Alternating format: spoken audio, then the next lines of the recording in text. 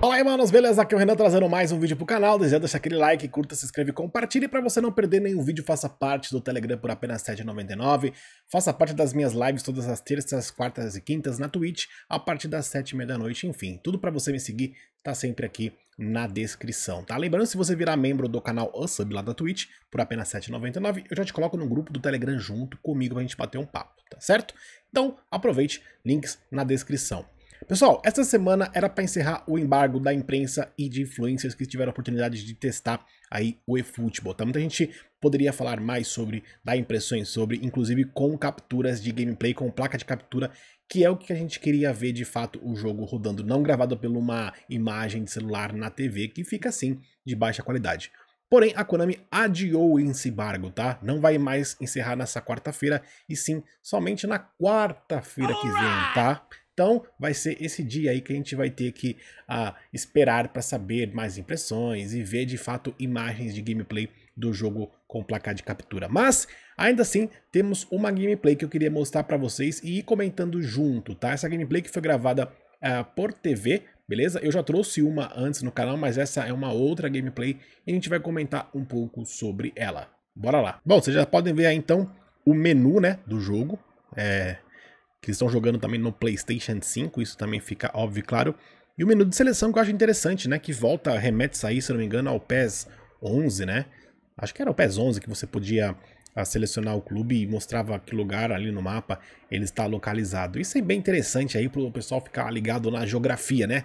Você que fugiu da escola aí de geografia, meu querido, é a sua oportunidade de ficar craque em geografia e localizar aí os clubes, tá? Aí tá o menu de seleção de, de estádios, bem dinâmico, né? Vai mudando na hora o estádio, não tem mais aquele delay igual tinha antigamente. Você já muda durante o jogo mesmo, você seleciona pronto, ó, na hora já vem a, o estádio, você pode mudar o clima também, a altura de gramado, tá? Isso é bem interessante, tudo acontece em tempo real, muito rápido e prático. Aí, antes do jogo, as cutscenes, né? Muita cutscena legal que o pessoal sempre pediu, sempre gostou bastante de ter tá? Então, o pessoal chegando no estádio, né, com, com seus trajes, aí você tem o menu de selecionar os uniformes, né? Então você pode escolher ali a camiseta que você quer. O menu bem feio de seleção. Essa cor azul e amarela aí, camisa da Juve, ficou muito esquisito, cara. Pelo amor de Deus. Eu sei que eles gostam de usar as cores padrões aí da marca, mas porra, velho. Ficou bem esquisitão, né?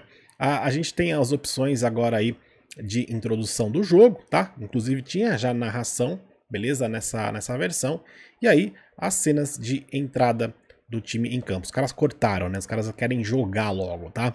Mas vamos lá então para a bola rolando. Vai apitar senhor linguiça e vai rolar o melão. Rola a bola no gramado verde, tá valendo. Começa tocando a bola aí o time do Bayern. A primeira gameplay que eu mostrei para vocês era um humano versus a CPU, tá? E dessa vez é player versus players. E novamente, os caras são bem ruinzinhos, velho, bem ruinzinhos mesmo, tá? Mas beleza, a bola vai rolando aí, vocês estão vendo. Ah, uma coisa que eu achei interessante são os movimentos, né, do, dos jogadores que eles estão mais suaves, né? Você tem, você sente que eles estão menos duro do que era a versão do PES 21. Essa reposição rápida muito bacana, né? Isso aí você vê que acontece em tempo real. O cara é burro pra caramba. Olha só como o cara. Meu Deus do céu. Mas olha só, não tem mais aquela cena preta de transição, né? Tem as cenas de replay, obviamente, mas não tem aquela cena, aquela tela preta que escurece, né? As coisas acontecem em real time, que a gente fala. Né? Então você vai bater um escanteio, às vezes o jogador já pega a bola ali, já coloca numa marca de escanteio, assim como é o lateral, e assim também como é o tiro de meta, tá? Isso deixa o jogo mais dinâmico, né? E você, você vê que, por exemplo, no PES 21, quando você bater um tiro de meta, o seu time já estava todo recomposto ali na posição certinha. Agora, como é em tempo real, você vai bater um tiro de meta e os jogadores ainda estão voltando para suas posições, ó, como agora, por exemplo, lá. Os jogadores ainda estão correndo, então se você for esperto, você pode aproveitar um contra-ataque fulminante, cara, nesses lances aí com o goleiro, tá? Ah, inclusive, é, isso acaba sendo um pouco perigoso, porque se não for muito bem equilibrada essa reposição aí, pode acabar virando meta do jogo, ou tipo aquele bugs de saída, sabe? Aquele bug que a gente tinha no PES 21, que você saía no meio de campo, já jogava com L1 triângulo e saía na cara do gol. Então, tomara que não, mas é, é, tem que ser bem feito isso aí, cara, né? Porque você vê que agora é tudo em tempo real. Não tem mais aquelas cenas de transição. Sobre a movimentação dos jogadores, óbvio que lembra muito ainda o PES 21, até porque não é a Unreal Engine 100% dela nua e crua, tá? Tem muitas coisas que foram é, de transição, né? A gente fala que é um ano de transição, literalmente, de uma engine para outra, tá? Isso, então, é realmente normal de acontecer em anos de transição. A galera fica zoando, mas, mano, pega lá o FIFA 17 que foi o primeiro FIFA com uma nova engine no PlayStation 4, né? E o FIFA que era o 16, que ainda usava uma outra engine. Você vai ver que o FIFA 17, embora tenha mudado graficamente, melhorado muitas coisas, ainda assim leva a base. Até hoje, você tem animações do, do FIFA 22 que são aí do PES 14, do FIFA 14, do FIFA 15, do FIFA 13. Tá? Então é a mesma coisa aqui, né? A gente tá vendo no, novas transições, novas animações, mas é o primeiro ano de transição da Fox para Unreal. Então é natural você ver muitas transições, muitas cutscenes, muitas cenas de uma engine para outra, e isso vai ser obviamente substituído com o passar dos anos. Então, eu diria que daqui pelo menos uns dois anos no máximo, a gente vai ver o jogo full Unreal Engine. E depois a gente vai ver o jogo cada vez com mais novas animações, cada vez menos é, focado no que era o PES 21 até o último PES que foi, obviamente, com a Fox Engine, tá?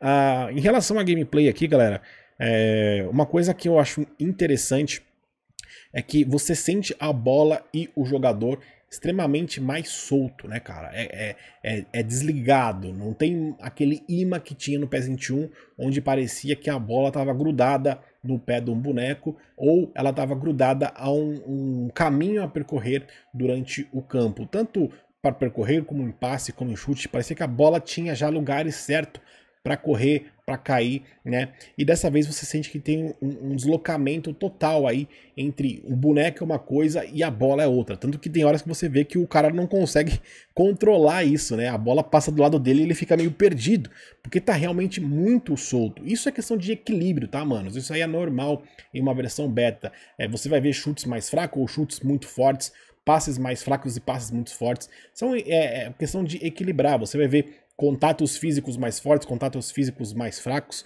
né? Então, é, isso é questão de balanceamento. Qualquer jogo é assim. Se você pegar, por exemplo, o próprio COD, que eu gosto de usar muito como exemplo, você pega uma beta do COD, que é o Call of Duty, você vai ver que armas que matam muito rápido armas que matam muito devagar e depois na versão final eles lançam um balanceamento, onde deixando tudo mais equilibrado. No futebol é literalmente a mesma coisa. Quem joga a beta do FIFA também pode confirmar isso, que é literalmente a mesma coisa, né? Você tem um FIFA de um formato na beta, no lançamento ele já está em outro, está muito mais equilibrado e tal. Então, em relação a isso, de fato, eu não me preocupo, tá?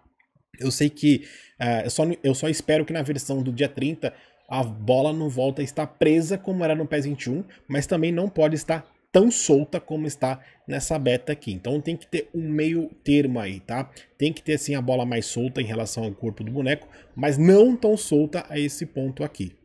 Beleza?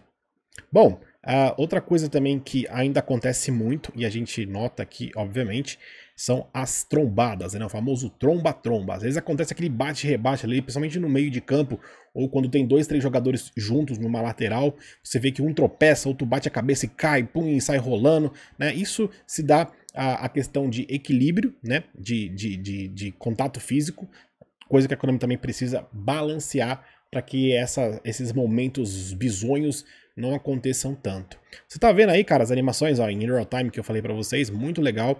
Uh, inclusive o, o, o, corpo do boneco, né, tá bem melhorado, olha lá, que eu falei, ó, tá vendo a bola como tá solta? O cara fica meio perdido o boneco ali, né? Tudo bem que parou o lance, mas isso acontece com em gameplay mesmo, tá? Mas em relação ao corpo dos bonecos, eu achei muito melhor que o PES 21, muito mais humano o formato do corpo dos caras. O uniforme que a galera reclamava tanto, que aquele uniforme parecia um camisolão largo no braço, na, na, na barriga, foi ajustado. Você vê que os uniformes estão bem mais realistas, né? Bem mais grudados no corpo, como de fato ele é na vida real, né? Em questão dos detalhes também, os uniformes têm mais detalhes, costuras nos shorts, na camisa, os bordados, né? Então isso deixa o jogo mais enriquecido em questão de qualidade gráfica, tá? Não dá pra gente julgar muito a qualidade gráfica, uma captura dessa aí, né, de celular aí na câmera, na TV, mas dá pra gente ter uma ideia que, olha olha, os uniformes como estão mais grudados e tal. Ah, outra coisa que eu reparei também, que acontece ainda muitos erros de cenas de transição. As transições estão meio bugadas, né? Quando transição de um replay, por exemplo, ou transição de quando mostra um lance, né? É, tipo, é, vai mostrar um replay, aí vai ter aquela, aquela transição que aparece o eFootball, tá bem bugado, ou aquela cena que aparece em real time, ó, tipo agora assim, ó, tá vendo? Ó? Olha lá, tipo, corta muito seco e volta muito seco, fica um pouco estranho, né? É, é, isso acontece no FIFA também, né? Você vê que no FIFA é, não tem mais aqueles cortes, então as cenas são todas em real time. É, então você tem essa questão de, às vezes, dar um zoom no boneco, parece que é esquisito, o boneco tá correndo ainda e a câmera tá no, tá no zoom, depois volta pra câmera de gameplay, olha lá, tá vendo agora, a transi essa cena de transição como tá bugada ainda, mas isso são coisas que eles vão ajeitar com certeza, tá, são detalhes bestas aí, mas que a gente percebe que ainda não está finalizado, né, essas partes de, de transição, tá? É, em relação aos goleiros, eu achei que eles estão bons, né? Apesar que esses dois caras que estão jogando são horríveis, né? Cara, você vê que, nossa, eles são muito ruins, cara. Parece que os caras não jogam futebol há 30 anos, meu querido, né? Não sabe jogar, literalmente. Tudo bem que os comandos mudaram tal, mas mesmo assim, eles são muito ruins. É, eu queria pegar dois caras jogando bem, assim, tipo, uma gravação de, de gameplay, de cap, placa de captura mesmo, dois caras jogando bem um contra o outro pra gente poder avaliar melhor isso, né? Esses caras são muito ruins, ó. Mas os goleiros, olha, estão muito bons, eles fazem defesas em dois tempos e tal. Olha lá, outra bugada que acontece também nesse lance, o boneco ficar preso ali, tá? Mas isso são coisas que vai sendo ajustado, viu, mano? De fato, eu não me preocupo com essas paradas aí, que eu sei que isso são coisas que são ajustáveis de forma mais tranquila, tá? Mas o, o que me, me preocupa ainda ah, em relação a essa gameplay é questão dos trombas-trombas, tá? Embora eu acredito que vai estar melhor, mas a gente já tinha muito tromba-tromba na versão do PES 20, melhorou no PES 21, mas ainda assim acontecia momentos, principalmente para quem joga online, aqueles bate-cabeça, aqueles tromba-tromba, e ainda acontece nessas versões que eles estão jogando, tá? Uh, não é tanto igual era no PES 21, tá? Mas ainda assim acontece muito isso. Mas no geral, eu gostei eu curti, acho que tem bastante coisa a melhorar, mas acho que pode dar muito bom no dia 30 de setembro. Deixa seu comentário aí, um grande abraço, valeu a nós, tamo junto.